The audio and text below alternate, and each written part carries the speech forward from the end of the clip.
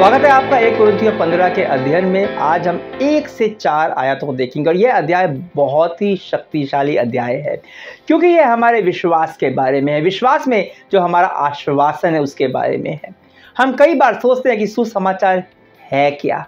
क्या है यह सुसमाचार जो हमें उद्धार देने की सामर्थ्य रखता है? यह कुछ बहुत ही भारी भरकम होगा। पर सुसमाचार बहुत ही सरल है। तो वीडियो को शुरू करने से पहले मैं आपसे निवेदन करूँगा कि इसे लाइक और शेयर कर दीजिए, क्योंकि आज हम सुसमाचार की सरलता को और उसकी सामर्थ्य को समझने वाले हैं। तो बिना अधिक भूमिका बांधे में एक कुरिन्थियों पंद्रह, एक से चार आपके लिए पढ़ता हूँ। हे भाइयों, अब मैं तुम्हें वही सुसमाचार बताता हूँ जो पहले सुना चुका हूँ, जिसे तुमने अंगीकार भी किया था और जिसमें तुम स्थिर भी हो। उसी के द्वारा तुम्हारा उद्धार भी होता है। यदि उस सुसमाचार को जो मैंने तुम्हें सुनाया था, स्मरण रखते हो, नहीं तो तुम्हारा विश्वास करना व्यर्थ हुआ। इसी कारण मैंने सबसे पहले तुम्हें वही बात पहुँचा दी, जो मुझे पहुँची थी, कि पवित्र शास्त्र के वचन के अनुसार यीशु मसीह हमारे पापों के लिए मर गया और गाड़ा गया और पवित्र शास्त्र के अनुसार तीसरे दिन जी भी उठा। पॉलुस शुरू करता है कि मैं तुम्हें वही सुसमाचार सुनाता हूँ, जो पहले सुना चुका हूँ। कोई भी ज्ञान की बातें जो हम बोलते हैं, उसे धीरे धीरे और बेहतर तरह से हम बताने लगते हैं। पर पॉलुस कहता है कि मैं तुम्हें वही सुसमाचार सुनाता हूँ, जो पहले भी सुना चुका हूँ। मतलब सुसमाचार वही है, उसमें कोई बदलाव नहीं है। सुसमाचार जो था, वह पहले से वही है और आज भी वही है। कोई बेहतर सुसमाचार नहीं है। और फिर पॉलुस तीन दूसरी आयात में पॉलुस कहता है कि उसी के द्वारा तुम्हारा उद्धार भी होता है।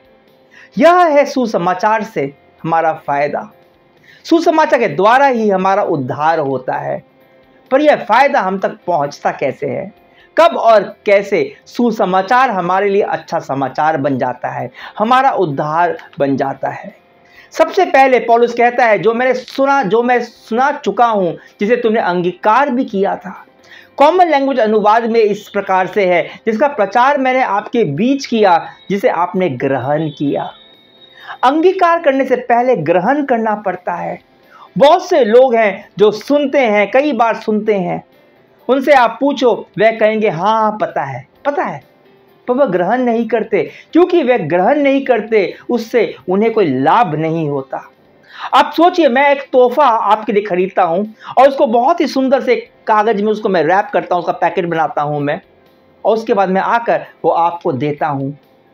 क्या मेरे देने भर से यह तोहफा आपका हो गया? बताइए। नहीं। जब तक नहीं, जब तक आप उसको ग्रहण नहीं कर लेते, आप जानते हो कि यह तोहफा आपके लिए है। पर जब तक आप उसे ग्रहण नहीं करते वह आपका नहीं है। आपका उससे कुछ भी लाभ नहीं। सुसमाचार एक तोहफा है, उपहार है, जो जानना नहीं, ग्रहण करना होता है। तभी आप अंगीकार भी कर सकते हो। यह तब आपका है। फिर पौलुस कहता है पहली आयात में कि जिसमें तुम स्थिर रहते हो, सुसमाचार जिसमें तुम स्थिर रहते हो, या दृढ़ रहते हो। हिलते नहीं हो, भटकते नहीं हो। अब देखिए कुरंतियों की कलीसिया में बहुत सारी समस्याएँ थी। उनकी चर्चा हमने की, पर शुरू से अंत तक पॉलुस एक बात के लिए उनसे उनकी प्रशंसा करता है कि वे लोग सुसमाचार में स्थिर हैं। इसके विपरीत अगर आपने गलीतियों का पत्र पढ़ा होगा, मैंने भक्ति वचन पर उसका अध्ययन किया है, आप सुन सकते हैं। गलातियों के लिए वह कहता है कि वे लोग किसी अन्य ही सुसमाचार की ओर झुक रहे हैं। वह जो सुसमाचार है ही नहीं कुरंती कलिसिया इतनी कलिसिया इतनी समस्या के बावजूद भी अनुग्रह में बनी हुई थी। जबकि गलातियों के लिए पॉलुस ने कहा था कि तुम अनुग्रह से गिर चुके हो। क्यों? क्योंकि वे लोग व्यवस्था के साथ, पुराने नियम की मूसा की व्यवस्था को भी जोड़ रहे थे सुसमाचार के साथ। सुसमाचार सरल है, सिंपल है, पर इतना सरल है कि कई बार हमारे जटिल दिमाग इसे समझ नहीं पाता। हम सोचते हैं, अरे उद्धार का इतना आसानी से हो सकता है? केवल विश्वास करने से?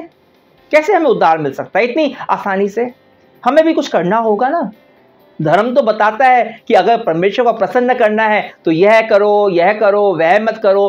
तपस्या तो करनी पड़ती है, बहुत मेहनत करनी पड़ती है, पवित्र जीवन जीना होता है, बहुत मेहनत से, खुद की चेष्टा से, तब जाकर उद्धार और मुक्ति मिलती है। परमेश्वर शायद से आपसे प्रसन्न हो जाएगा।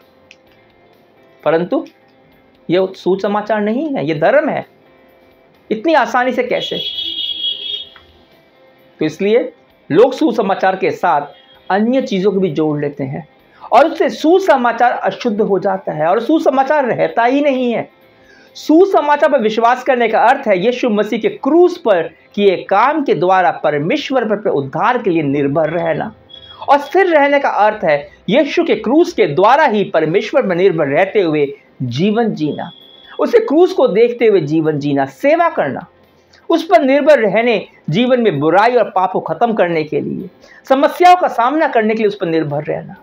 आप उसी पर निर्भर रहते हो, प्रताड़नाओं के बीच में भी। आप अपने कर्मों को नहीं जोड़ते उसके साथ। आप उसमें मूसा की व्यवस्था को नहीं जोड़ते, या फिर खुद के बनाए हुए नियमों को नहीं जोड़ते, या पॉजिटिव थिंकिंग को नहीं जोड़ते। सुसमाचार की सरलता में अगर आप कुछ भी जोड़ते हो तो वह सुसमाचार नहीं रह जाता। उसमें उद्धार करने की ताकत खत्म हो जाती है। देखिए, लोग बहुत कुछ पर विश्वास करते हैं बहुत ही शिद्दत के साथ उस पर विश्वास करते हैं। पर किसी का विश्वास उसे मुक्ति नहीं दिला सकता। उद्धार केवल सुसमाचार पर विश्वास से होता है। सिर्फ़ सुसमाचार से। दूसरी आयत में पॉलिस कहता है कि उसी के द्वारा तुम्हारा उद्धार भी हुआ है। यदि उस सुसमाचार को जो मैंने तुम्हें सुनाया था, स्मरण रखते हो, नहीं तो तुम्हारा विश्वास करना व्यर्थ हुआ। अगर इस सरल, सीधा सुसमाचार है, उसके साथ छेड़खानी करते हैं, अगर उसके साथ हम कुछ जोड़ देते हैं तो हमारा विश्वास व्यर्थ है। फिर वह किसी काम का नहीं रहता, क्योंकि फिर हम केवल परमेश्वर के काम पर निर्भर रहकर नहीं, हम दूसरी बातों पर भी निर्भर करना शुरू कर देते हैं। जैसे कि हमारा कर्म, अच्छे काम, नियमों का पालन करना पॉजिटिव थिंकिंग बहुत सारी चीज़ें हो सकती हैं। केवल सरल सुसमाचार को याद रखो। और फिर तीसरी आयत में पॉलुस कहता है, इसी कारण मैं सबसे पहले तुम्हें वही बात पहुँचा दी जो मुझे पहुँची थी। पॉलुस कह रहा है कि सुसमाचार कोई पॉलुस का आविष्कार नहीं है। सुसमाचार, किसी अन्य प्रेरित या यीशु के चेले का भी आविष्कार नहीं है। यीशु के चेले को भी इसे विश्वास के द्वारा ग्रहण करना पड़ा था। सुसमाचार के आविष्कारक स्वयं परमेश्वर है। सुसमाचार शुरू से ही परमेश्वर की योजना रही है। क्या है सुसमाचार? क्या है यह सरल सा सुसमाचार? बस इतना कि पवित्र शास्त्र के वचन के अनुसार यीशु मसीह हमारे पापों के लिए मर गया और गाड़ा गया और पवित्र शास्त्र के अनुसार तीसरे दिन जी उठा। यह है सुसमाचार जिसके द्वारा आप परमेश्वर के राज्य में आप दाखिल हो पाते हो। यीशु हमारे पापों के लिए मर गया, गाड़ा गया और तीसरे दिन जी उठा। बस इतना सा। विश्वास का ग्रहण करने से किसी का भी उद्धार हो सकता है। और यह परमेश्वर की योजना के अनुसार है। इसलिए यह पवित्र शास्त्र में लिखा था।